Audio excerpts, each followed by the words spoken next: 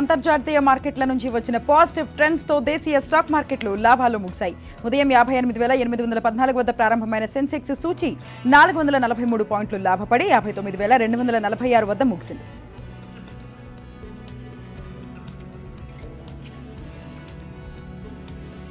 ఇక నిఫ్టీ సూచి పదిహేడు వేల ఐదు వందల నలభై ఆరు పాయింట్ల వద్ద ప్రారంభమై నూట ఇరవై ఆరు పాయింట్ల లాభంతో పదిహేడు వేల ఆరు వందల అరవై ఐదు వద్ద ముగిసింది.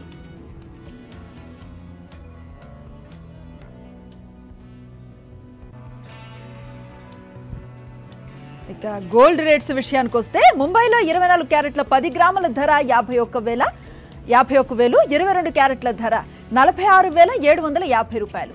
చెన్నైలో ఇరవై నాలుగు క్యారెట్ల పసిడి ధర యాభై ఒక్క వేల ఆరు వందల అరవై రూపాయలు. ఇరవై రెండు క్యారెట్ల ధర నలభై ఏడు వేల మూడు వందల అరవై రూపాయలు. హైదరాబాద్ మార్కెట్లో ఇరవై నాలుగు క్యారెట్ల బంగారం ధర యాభై ఒక్క వేలు ఇరవై రెండు క్యారెట్ల ధర నలభై ఆరు వేల ఏడు వందల యాభై రూపాయలు. ఇక కిలో వెండి ధర యాభై ఎనిమిది వేల ఐదు వందల రూపాయలు.